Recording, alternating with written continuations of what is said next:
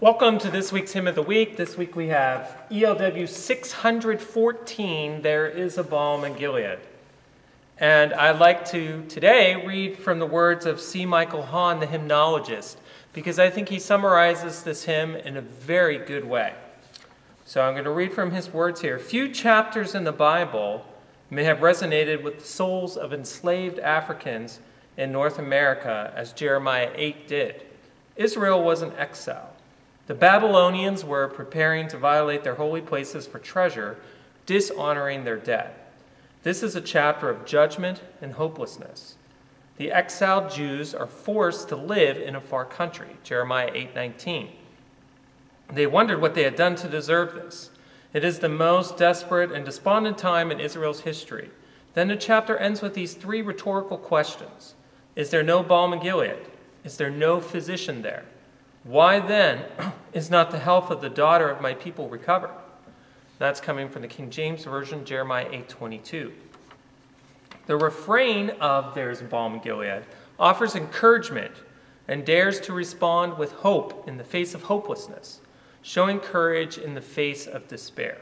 African American theologian Howard Thurman discusses the refrain of the spiritual. The slave caught the mood of this spiritual dilemma and with it did an amazing thing. He straightened the question mark in Jeremiah's sentence into an exclamation point. There is a balm in Gilead. Here is the note of creative triumph, and that's from Thurman. This note of creative triumph in the face of despair is the reason this spiritual holds a secure place in the canon of African American spirituals and hymnals today. So, really well summarized by hymnologist uh, Michael Hawn, and I, I, find it interesting, again, just to review this, he's straightening the question mark that's in Jeremiah 8.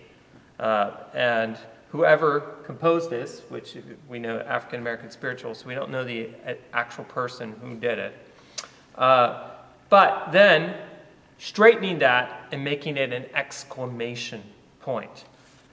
And this song, of course, doesn't, um, spirituals should never be played or even sung fast. And they also have that working and crying rhythm. And so I'm going to try to uh, go for that uh, with the registration, but also by the way it's sung, and also employing some different harmonies. Uh, so here we go. There is a balm in Gilead.